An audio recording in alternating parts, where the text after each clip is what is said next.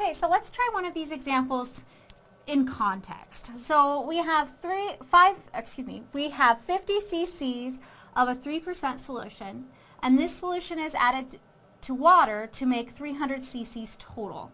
And they want, want us to figure out what is the concentration of the 300 cc solution. So again, we can go back to this formula. If we, that same idea, the amount doesn't change. So we're explaining this, if we multiply the percent times the volume, concentrate times the volume, before and after the dilution, we should still get the same amount. We haven't added any more of the actual substance. We've just added water to dilute it and increase the volume. All right, so um, my V1, so what I'm starting with is going to be my 50 cc's, and my concentrate that I'm starting with is 3%. So how did I know that?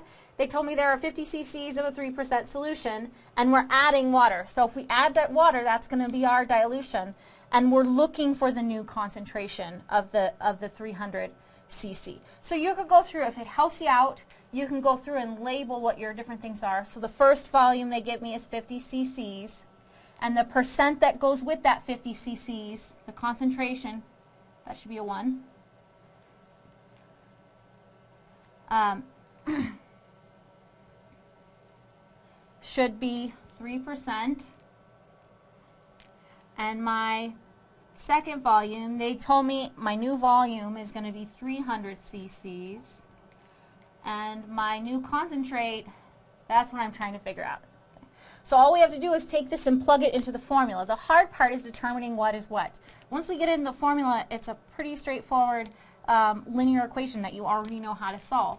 So I have C1, which is my 3%, times my, and you could put a little dot there for times, 50 cc's. And then I have my C2. Well, I guess in the formula they do the volume first, but uh, do you know why it doesn't matter here? Because multiplication is commutative. So if I do the 3% times the 50, it's the same as doing the 50 times 3%. So I apologize if that's a little confusing, that it doesn't match up perfectly, but I promise it does mean the same thing. Um, all right, so now I just have to solve for C2.